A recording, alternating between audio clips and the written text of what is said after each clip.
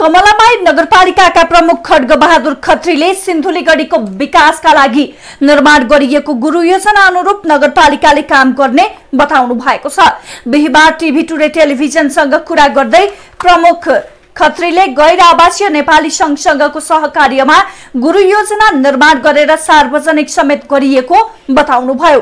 गुरु योजना कार्यान्वयनका लागि सत्र करोड खर्च हुने अनुमान गरिएकाले दस करोड नगरपालिकाले र बाँकी सात करोड गैर आवासीय नेपाली संघले लगानी गर्ने सहमति भइरहेको पनि प्रमुख खत्रीले जानकारी दिनुभयो।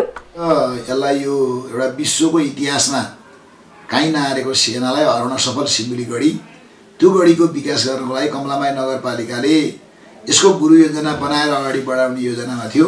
त्यही मुताबिक गैर आवासीय सङ्घ र नेपाल नगरपालिका सिन्धुलीले सम्झौता मुताबिक हिजो उहाँहरूले गुरु योजना बुझाउनु भएको छ र आगामी दिनमा त्यो गुरु योजनामा उल्लेख भए बमोजिमको कार्य गर्नको लागि उहाँहरूले पेस गर्नुभएको गुरु योजनामा सत्र करोड हाराहारीको रूपमा लगानी गर्नुपर्छ भन्ने कुरा आएको छ।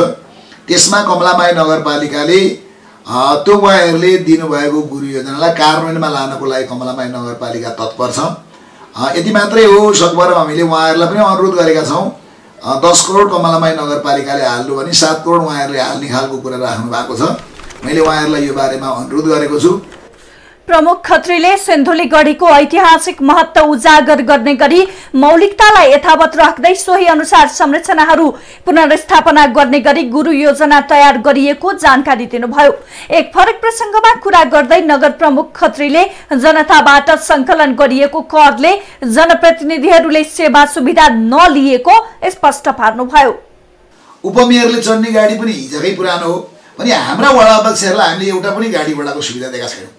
यस कारणले गर्दा पनि कि कमलामाई नगरपालिकाका वडा अध्यक्षहरूलाई उहाँहरूले अहिलेसम्म पनि काँच वा टिएडिएको नाउँमा उहाँहरूले सेवा सुविधा लिइरहनु भएको छैन र हामीले त्यो ढङ्गले तेलको दुरुपयोग पनि गरेका छैनौँ।